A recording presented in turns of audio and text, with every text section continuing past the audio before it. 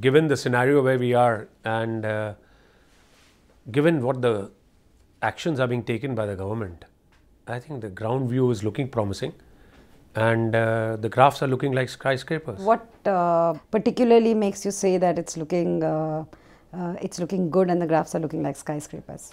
The economy of India is today driven by the consumption.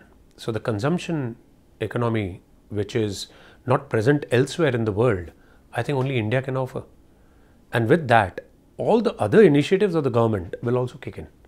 Specifically, if we want to look at, you know, those on infrastructure development, they're only going to boost what is happening or what will happen with the given policies. Moreover, whatever the Met department is saying, I think that will only give a boost to where we are.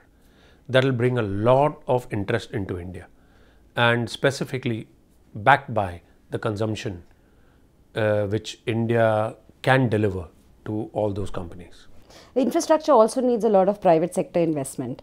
Uh, do you see that uh, this thrust which the government is placing on the infrastructure sector actually, uh, uh, you know, prodding the private sector in some way to come in and invest in this sector? Absolutely, it will happen because the government is spending. Someone has to come and do the work, and that will be not only the government companies but also the private companies. So definitely, the private companies would also get. See, it's like the cycle to start. Mm -hmm. Once you start here, then automatically the whole you know the uh, cycle of private investment will also start with it so i personally believe yes it is happening will that also mean that we will see a lot of uh, you know ppps being forged uh, say over the next few absolutely and i i think the government has taken the right steps they're not waiting for ppps they're saying if ppp is not happening we will go for epc you know as contracts which the government will fund some of the private investors are still shy in investing. But you rightly said, once the cycle starts, then the PPPs and everything, all the models will be there. What then are the three challenges for your sector? For our sector, I think it is one is that we need the infrastructure, and that is happening. So, still there is time. Mm. Second is that we must look at the policies which are coming in. For example, one of them is GST. Why do I say that? Because if you look at the current environment, the buying and selling is happening basis the taxation rather than on logistics. So from when the GST is there, it becomes a big one country. It's actually like a continent. I mean, nobody can offer such a big, you know, marketplace in the world. No doubt, US looks bigger, but then they also divided into states and whatever else. Here, this is one big continent. So automatically, this will become a place looking at logistics for transporting and manufacturing of goods rather than based on taxation.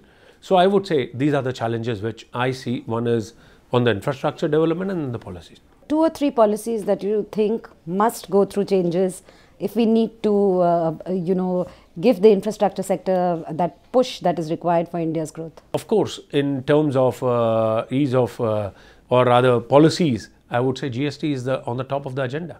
Okay, you said the environment is getting better. Yes. What is a company like yours doing to capitalize on this improving environment? We are preparing ourselves.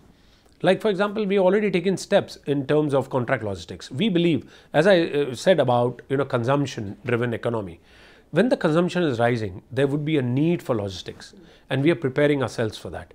We are going in for logistics park. We are preparing ourselves in NCR region in Jhajjar, Haryana, where we will set up a logistics park we have acquired a company called Avvashya CCI now, where we will hold 61% plus shares and this is in contract logistics. Contract logistics is all about value add warehousing and that's where we will be present. We will be present in contract logistics for vendor management, distribution and even if you say facility management or whatever it needs for e-commerce and the marketplace. All that also requires a lot of investment. What is the kind of investment that uh, uh, th that you're planning? Over a period of three to four years, we, we believe that there will be an investment requirement of approximately 500 crores in our business. So we'll set up logistics park. We have acquired this company. We are setting up a CFS in Kolkata. So these are the three businesses which we have right now started on. But as we go along in our journey, of course, we may find opportunities and there could be more. Uh, how? Uh, what is the outlook uh, uh, for your sector looking like? See, it's promising because again I come back to my consumption driven economy and because of consumption you need logistics if manufacturing, which is going to take place in India, which all the steps which have been taken place, dedicated rail freight corridors, smart cities, Sagarmala, logistics is the place to be in. And this is a sector that should be watched very closely.